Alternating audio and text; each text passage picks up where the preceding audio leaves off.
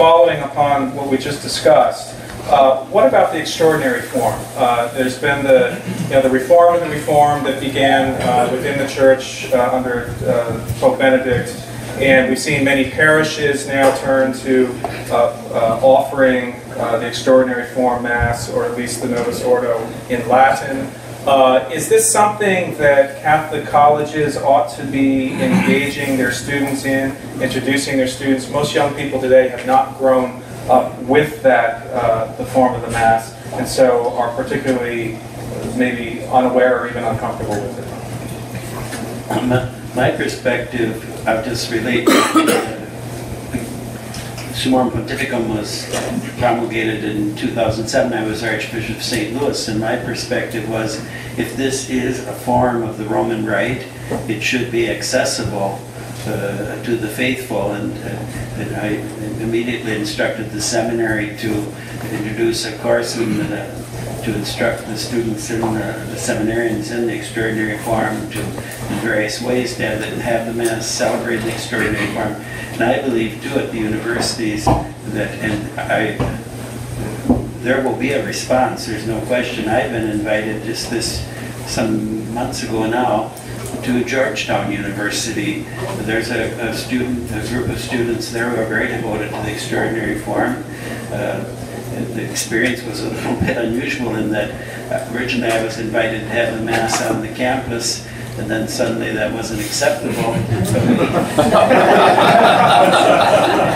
we, we had the mass anyway in McLean, Virginia, at the and th there was a wonderful outpouring a wonderful participation of the students and in meeting them, just the finest young people. And uh, I've seen this also in other universities too, where you, uh, you hear from, from uh, Matthew about the experience at Harvard. They have a Juventutem group there. But uh, these are things that may involve some suffering. Uh, but the thing is, if we're doing something that's very beautiful to the glory of God and, and for the salvation of souls, we have to persevere in it and not let ourselves be discouraged by people who don't understand or who want to be difficult. Well, I think that you know you really can't underestimate uh, taking young people in that uh, age of their life when they're so formable and so open to so many and beautiful things. I mean, you're talking about you know 18 to 21 year olds, especially in undergraduate and graduate uh, students who obviously want to go uh, as much as possible into the essence of things, and introducing them to uh, the liturgy is uh, is an amazing thing, and I'm, I'm a product of that myself. Um, Dr. Foley mentioned Baylor. Uh, I was raised as a Baptist in South Carolina, so Baylor was our Harvard. Um, and in going to college, to Christendom College was the first time that I really discovered the liturgy. And I found a place in which the chapel was quite physically at the heart of campus. And uh, so many things kind of were centered around the celebration of the liturgy and the sacred. Uh, so, you know, we all learned Latin, we all learned Gregorian chant. We had, uh, you know, at least at that time it was the ordinary form in Latin, sung every day.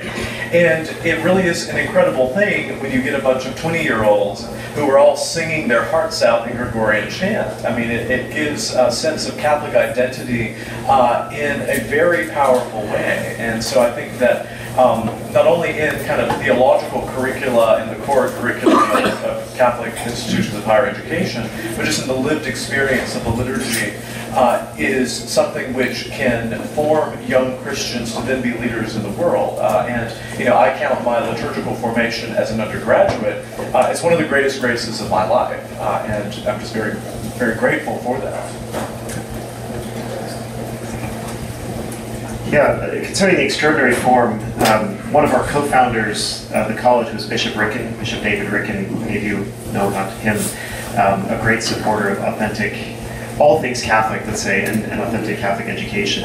Um, but when the when the motu proprio came out, uh, Bishop Ricken was very clear he wanted to have the extraordinary form on campus.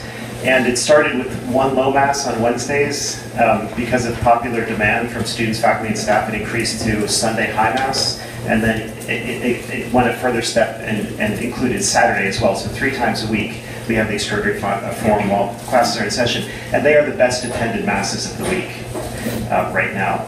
Which would probably in some context be a cause for alarm and concern. For us, it's just a cause of joy because um, this is the treasure of the church. It's such a great treasure. Um, and what I've, what I've been really struck by is we've had a few students come in to the college who not only never experienced the extraordinary form, but who um, grew up in a charismatic uh, environment, uh, praise and worship. They played the guitar or the piano in church. Um, and uh, we've seen some really remarkable, I don't want to say conversions because I don't want to give the wrong impression, but we've, we've seen some remarkable um, shifts in mentality. And there's one young lady I'm thinking of who she still likes to play the guitar around the campfire and so on, and that, that's fine with me. But she says, I've, I've come to realize that the Mass is such a great mystery, such a deep, profound mystery, that it should be approached with a kind of hushed awe, the reverence of chant, polyphony. She's in the choir now. She's learning Palestrina and all kinds of. So it, it's it's amazing what you can do with, with young people. They're very open-minded. They have a hunger for the sacred, as I said before. And so I think the extraordinary form is crucial for college and university chaplaincies. I, I, I know that we all agree about that. I wish we could get the message to, to penetrate further beyond that. But I've just seen it. I've seen it in, in 20 years of higher education. The uh, Student Center at Baylor University actually has the extraordinary form. It may be one of the uh, few student centers uh, for a Protestant campus that has it. And um, I have noticed an interesting reaction among the converts uh, to Catholicism that we, we get at Baylor. There are some who will convert and re- retain a preference or develop a, a preference for the ordinary form in the vernacular. There are also others that once they experience the extraordinary form, uh, have a very strong preference for that, and it becomes one of the chief draws for their coming into the church.